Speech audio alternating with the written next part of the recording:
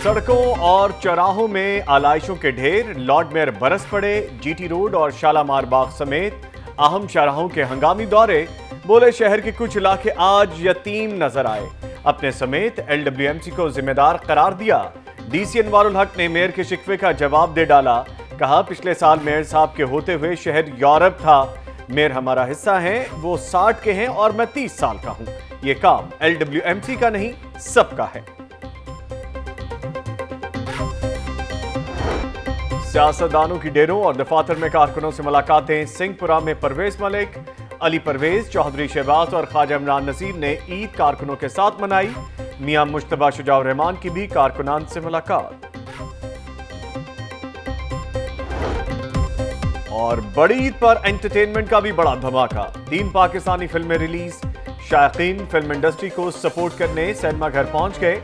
Tickets के हसूल के लिए लंबी लाइनें लग गई।